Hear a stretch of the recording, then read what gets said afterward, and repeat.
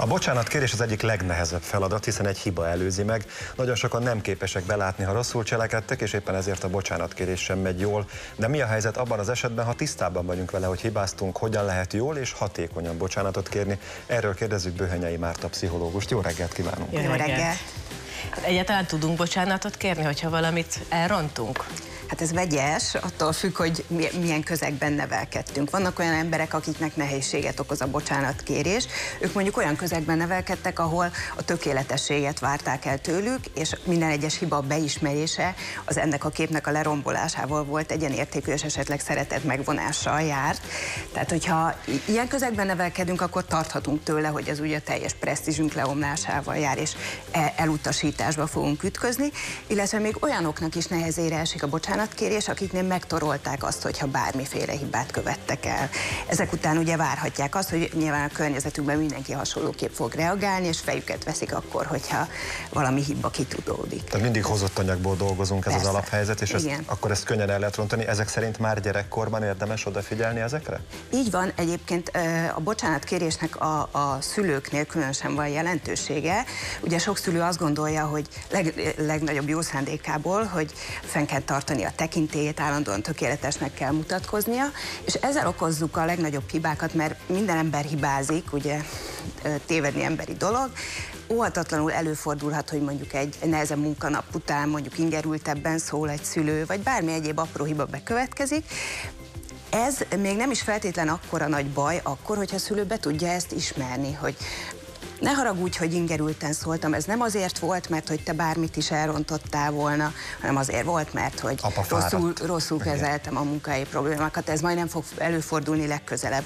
Ö, hogyha ez elmarad, és egy szülő szisztematikusan nem ismeri be a hibáit, akkor a gyerek magára fogja venni a szülőnek az elfogadhatatlan viselkedését, azt fogja gondolni, hogy ő tehet róla, illetve azt fogja gondolni, hogy ez a normális, hiszen otthon az az ember, aki egyébként kimondja, hogy mi helyes, mi nem, az nem ismeri el ezt helytelen viselkedésnek. És később ugye a mindenféle pszichoterápiák során kell majd ezt kigyomlálni, szóval a szülő jó, hogyha ezt már azzal megelőzi, hogy ugye, időben szól. Valaki ezt gyermekkorban látta a szülőktől, és megtanult megtanulta helyesen, akkor nincs is nagy gond, illetve ott lehet, hogy hogyan tegyük ezt helyesen. Meg tudjuk-e találni mindenkivel a megfelelő hangot, illetve minden esetben mindenkitől megfelelően kérünk-e bocsánatot, úgyhogy annak legyen is nyilván foganatja, és tényleg megbocsásol nekünk az, akinek kell.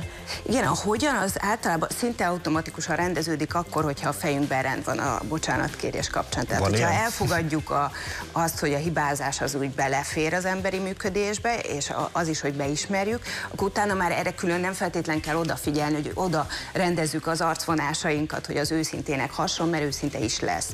Tehát e, sok, most, hogy készültem az interjúra, átnéztem, hogy mit írnak különböző sajtótermékekben, és sok helyen hangzik el ez a javaslat, hogy próbáljuk meg a arcizmainkat úgy rendezni, hogy őszintének hason. Hát ez nem fog sikerülni, mert az ember úgy van kitalálva, hogy a hazugságot fölismerje. Tehát az a lényeg, hogy meggyőződésesek legyünk.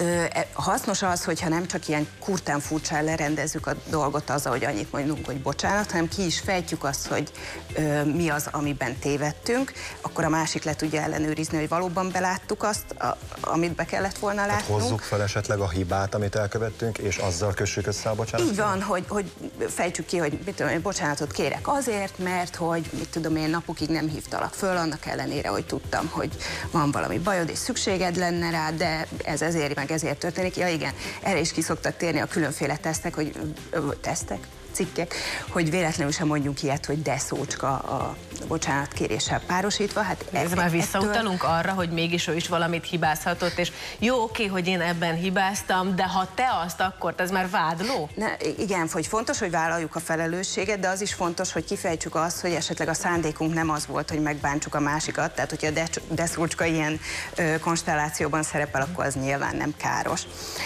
mondjuk én esetben érdemes azt kifejteni, hogy mit értettünk félre? És ezt hangsúlyozni, hogy nem te csináltál valamit rosszul, hanem én értettem félre?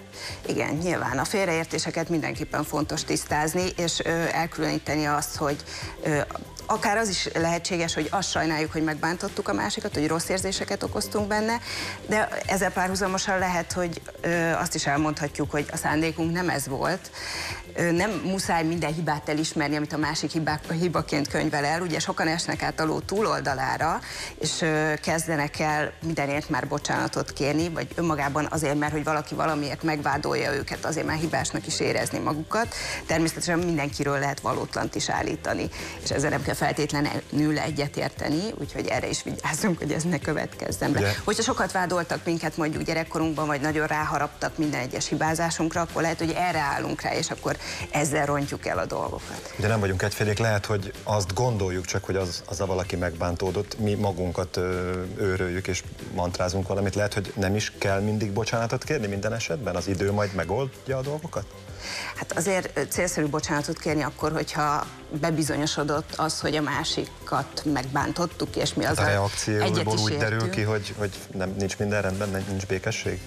Hát a nyílt kommunikációt mindenkinek javasolnám, tehát hogyha van ilyen kételjünk, hogy akkor vajon megbántottuk-e a másikat, akkor érdemes erre rákérdezni, és akkor a másik meg tudja mondani, hogy Ez mi is egy érdekes kérdés, mert vannak olyanok tényleg, akik mindenért bocsánatot kérnek.